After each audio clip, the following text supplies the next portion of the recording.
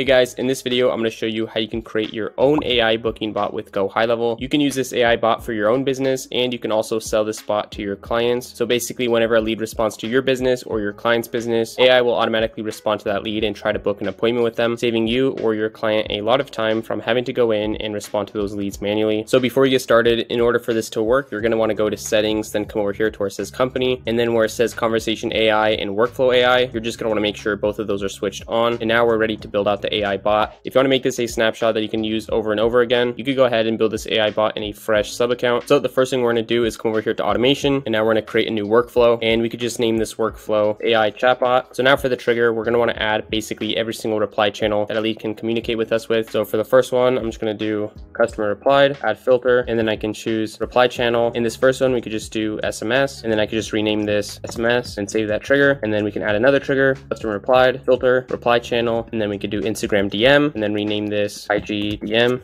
save this trigger. So the next, we can go ahead and add another reply channel. So basically, as I said before, you just want to do all of these. So now that you basically have all the main reply channels, if you wanted to, you can also add a form. I'm going to go ahead, and add a new trigger, search for forms. So you can include a TikTok form, a Facebook form, or you could choose one of the forms that you already have. So I'm just going to click on form submitted. Then we can add filter, form is, and then we could just choose a form that we want to use and then click save trigger. So now as you can see here, every time a lead communicates with us through Facebook, SMS, chat widget, Google My Business, Instagram, or a form, AI will automatically respond to the lead and try to get them to book an appointment. So now let's go ahead and finish building out this automation. All right, so the first action we're gonna do is a if else condition. So basically what this will do is branch off the automation into separate categories depending on the reply channels that you have. So we're just gonna click here if else. So we're just going to name each branch after the reply channels that we have. So for the first one, we can do SMS and chat widget. And the reason why we're adding two reply channels to this, because SMS and chat widget are related. They're both going to be using text. So next we could come down here. Then you're going to want to click on workflow trigger and then click on is, and then you're just going to choose SMS and then add another condition. And then we could do workflow trigger again, is, and then select chat widget. So now we can add another branch. This branch is going to be called Facebook Messenger, and then workflow trigger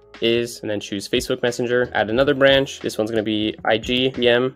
Workflow trigger is IGDM.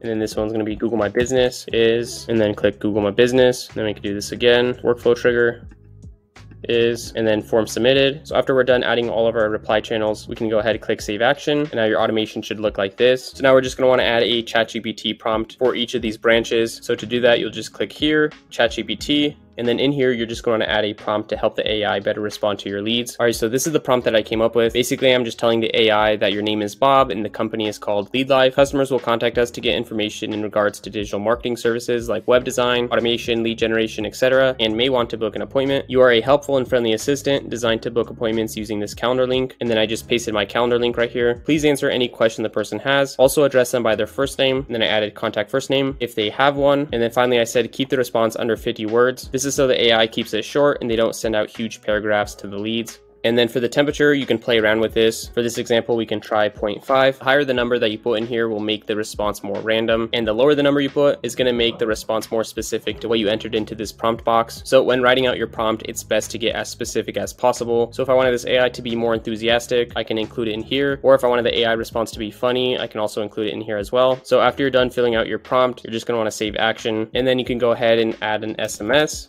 And for this SMS, you're just going to come over here to where it says ChatGPT, click on this ChatGPT response, and then you could go ahead and click Save Trigger. And that's going to be the message that your leads initially get after they reach out to you. So you're just going to go ahead and do this for the rest of these reply channels. All right, so this is what it should now look like. And one thing to keep in mind is you're just going to make sure that the prompt number always matches the response number in your SMS. So one should be one, two, two, three, three, four, four, five, five, etc. All right, so now I'm to finish building out this automation one reply channel at a time. So I'm to first show you how to build out the SMS and chat widget section. And then after that, everything's to be basically the same thing. You're just want to rinse and repeat for the rest of these reply channels. All right, so what we got right now is every time a lead reaches out to your business, our AI bot will automatically respond to them. And then we're just want to wait for them to respond back. So we're just to do wait and then choose contact replied. SMS. So this automation won't continue until they respond back. So now we're gonna wanna add a condition. So we can do if else. And the first one we're gonna do contact reply contact replied, and then we could do true, and we can name this contact replied true, and then we can add another branch, do contact reply, contact replied, and then for this one, false, and we're just gonna name it contact replied false. So basically contact replied true means that the lead responded, and contact replied false means that the lead did not respond, so we could go ahead and save this action. So now I'm gonna build out the contact replied true section, and then after that, I'll go ahead and build out the contact replied false section. So if our lead responded to the AI, we're gonna want our AI bot to respond back to them. So we can go ahead, click on ChatGPT, and then we can insert a prompt again. And the prompt that we add in here is basically going to be similar to the one that we added before, except for a few changes. So this says the lead responded with this message, and then I added this custom value, message body. Please respond to them and get them to book an appointment using this calendar link. So basically what this is doing is allowing your AI bot to respond to their specific message. So we could go ahead and save action. And now we can add an SMS.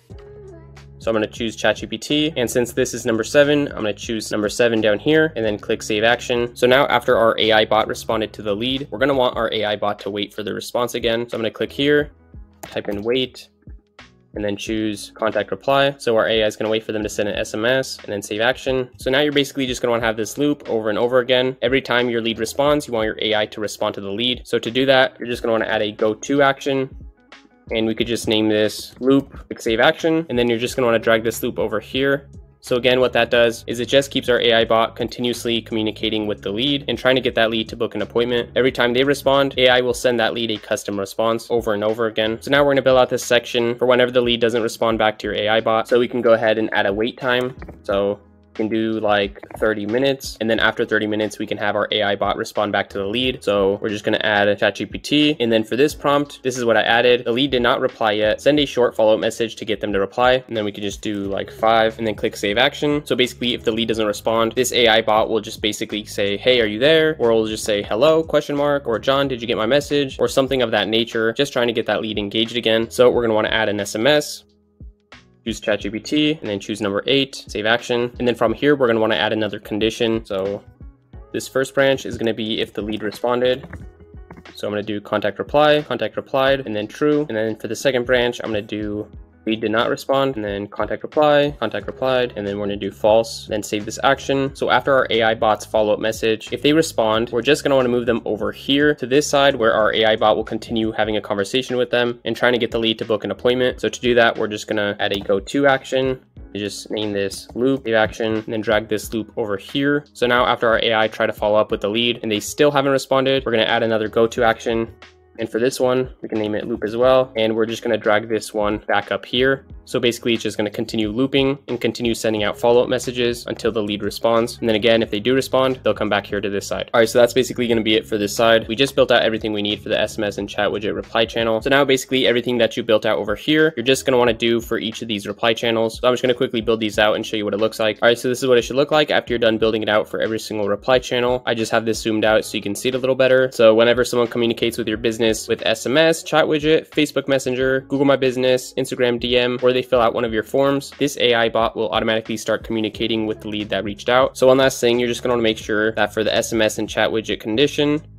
make sure you have it as or in order for this to work properly. So we could go ahead and test what this looks like now. All right, so to test this out, I said hi, and the AI responded, hi there, I'm Bob, your friendly assistant at LeadLife. How can I assist you with your digital marketing services like web design, automation, or lead generation? Feel free to ask any question or schedule an appointment using this link. And then the AI bot sent my calendar link, and I went ahead and just said, how much is a new website? And the AI responded, the cost of a new website varies based on your specific needs and requirements. I recommend booking an appointment with us so we can discuss your website goals and provide you with, with a personalized quote. You can book an appointment here and then the AI sent the calendar link again. And then I just said what time slots are available. And it basically responded saying we have various time slots. And it sent the link again so that the lead can click on the calendar and see which times are available. So if you don't like how the AI is responding, you are just going to want to play around with the prompts. And the more information that you add in the prompt, the better. So for example, for this one, it says, Hi, I'm Bob, your friendly assistant at LeadLife. That kind of sounds weird. So if I wanted to change this, I would just go back into the prompt that I created and mess around with it. So if you really wanted to perfect this, you will be probably going back and forth, changing up the prompt and then sending various messages, testing out the prompt and then you're just going to want to continue doing that until you get it where you want it. All right, so that's how you can build out your own AI booking bot. This booking bot will save you or your clients a lot of time from having to go in and manually reach out to leads. A lot of times your clients will have a lot of inbound leads, and something like this will help them out a lot, and they're going to be willing to spend a lot of money for this. So finally, if you guys are new to GoHighLevel and you want to learn how to set up your business A to Z, go ahead and check out the free course that I have in the description. Also, if you guys are not my affiliate, but you still want my bonuses and resources, you can also get that in the description. And don't forget to like the video and